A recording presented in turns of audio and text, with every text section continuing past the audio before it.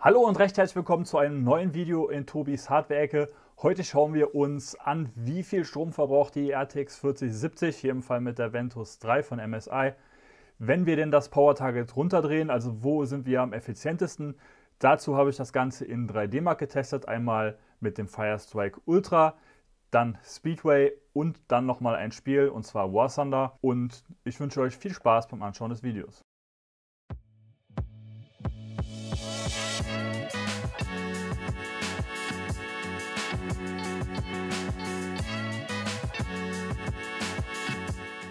Bevor wir anfangen, eine kleine Info. Das Testsystem findet ihr in der Beschreibung und die Werte, die wir sehen, die variieren natürlich, je nachdem.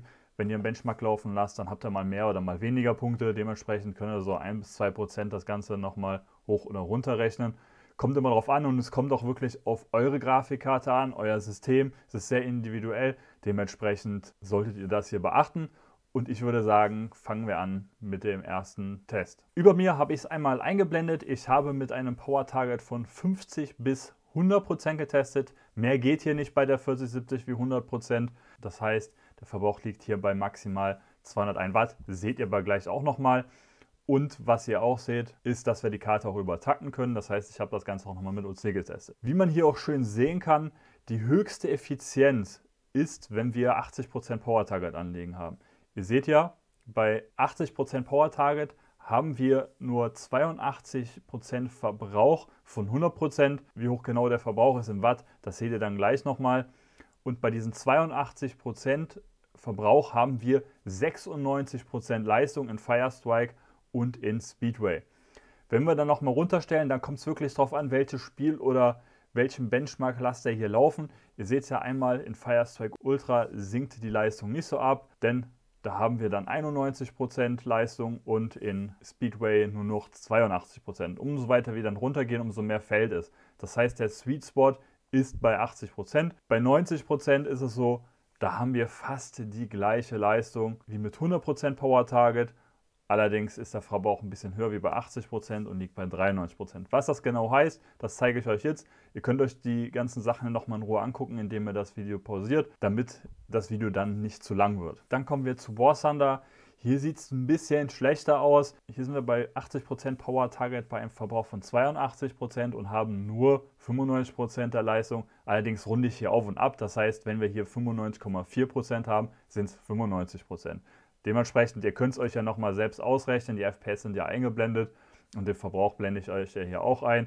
Und ihr seht auch, bei 80% Verbrauch sind wir bei 165 Watt Gesamt-GPU-Verbrauch, also gesamte Grafikkarte. Gleich seht ihr nochmal, was die einzelne GPU verbraucht. Und im Vergleich dazu, bei 100% liegen wir bei 201 Watt. Das heißt, ihr könnt hier nochmal so gut 35 bis 36 Watt sparen. Kann sich lohnen, kann sich auch für die GPU-Temperatur lohnen. Ihr seht, die Lüfter drehen nicht wirklich niedriger, seht ihr gleich auch nochmal. Und komischerweise bei 50% Power Target ist die GPU wärmer. Aber ich glaube auch, die Lüfterdrehzahl wird hier nicht richtig angezeigt. Aber es sollte ja logisch sein, dass die GPU ein bisschen kühler wird, beziehungsweise die Grafikkarte leiser wenn wir denn den Verbrauch senken. Ansonsten, wenn wir nochmal übertakten, das habe ich übrigens gerade eben bei 3D Mark vergessen, da können wir nochmal Leistung rausholen. Hier ist die Leistung auch etwas höher wie beim 3D Mark, denn wir können nochmal 6% mehr Leistung rausholen und verbrauchen dann auch nicht mehr. Das heißt, wenn ihr mehr Leistung braucht, dann ist das hier kein Problem, könnt ihr rausholen. Aber man muss auch dazu sagen, ob ihr jetzt mit 199 FPS spielt oder mit 210, macht dann wahrscheinlich auch nicht mehr so viel aus. Aber gut, wenn ihr denn sowieso 100% verbrauchen wollt, also 201 Watt, dann könnt ihr auch übertakten. Ansonsten würde ich wie auch beim 3D Mark zu 80% Power Target raten. Was man hier sieht, dass selbst wenn wir 70% Power Target einstellen, immer noch 91% der Leistung haben und der Verbrauch liegt dann bei 145 Watt. Das sind über 50 Watt weniger wie mit Standardeinstellung. Das ist schon mal gut. Und was auch interessant ist, bei 50% Power Tag liegen wir bei 105 Watt haben allerdings auch nur noch 61% der Leistung, aber dafür ist der Verbrauch auch niedriger mit 52%. Das heißt, wenn euch hier in dem Fall 122 FPS ausreichen im Durchschnitt, dann könnt ihr auch auf 50% Power Target unterstellen. Übrigens, War Thunder lief hier in UHD ohne SSAA und mit maximaler Qualität. Dann nochmal kurz was zu GPU-Temperatur, Board Power und GPU-Power und den Lüfterdrehzahlen. Ihr seht, die Lüfterdrehzahl ändert sich nicht wirklich Und ich verlasse mich hier auch definitiv nicht auf, auf das, was mir da angezeigt wird.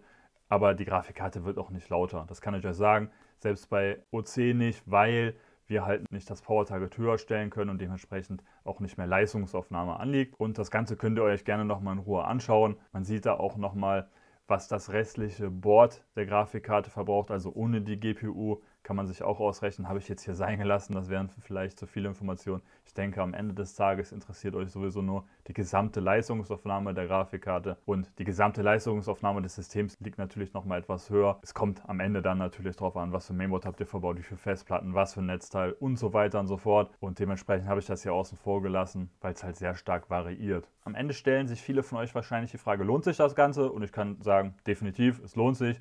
Wenn ihr seht in einem Spiel, okay, ich habe mehr Leistung als ich brauche, dann könnt ihr natürlich auch das Power Target runterstellen, was ihr auch machen könnt. Ihr könnt die Frame-Zahlen limitieren. Das heißt, ihr stellt entweder G-Sync ein oder Adaptive Sync, was auch immer ihr benutzen möchtet und limitiert dann auf 120 FPS, indem ihr halt nur die Herzzahl auf 120 stellt, je nachdem, was für einen Monitor ihr habt. Und dann verbraucht die Karte natürlich auch weniger. Wenn ihr das nicht möchtet, dann macht das Power Target auch Sinn. Und dann wisst ihr immer, okay, ich verbrauche immer das und das, wenn ich ein Spiel spiele und wenn ich mal mehr Leistung brauche, dann könnt ihr das Power Target hochstellen. Das ist übrigens nicht das einzige Video, wenn es das erste Video ist, was ihr seht, wo wir mit dem Power Target bzw. Undervolting hantieren. Wir haben auch noch ein Video zur 4070 Ti, dann ein Video zur 4090 zu 7900 XT und zu 7900 XTX. Könnt ihr euch auch gerne nochmal anschauen, verlinke ich auch nochmal und schreibt gerne in die Kommentare, wie ihr eure Grafikkarte so eingestellt habt. Habt ihr generell überhaupt das Power Target runtergestellt oder nicht? Würde mich auf jeden Fall sehr interessieren, ob ihr das Power Target runterstellt oder ob ihr die Frames limitiert. Falls ihr nochmal ein Video möchtet, wie man denn die FPS limitieren kann, das kann man auch unabhängig vom Spiel machen. Dann mache ich da auch nochmal ein Video zu oder der Roy, wenn er möchte. Das soll es auch schon gewesen sein. Falls ihr noch nicht abonniert habt, dann abonniert gerne. Das würde uns sehr freuen und lasst einen Daumen nach oben da. Und damit würde ich sagen, bis zum nächsten Mal, euer Tobi. Ciao, ciao.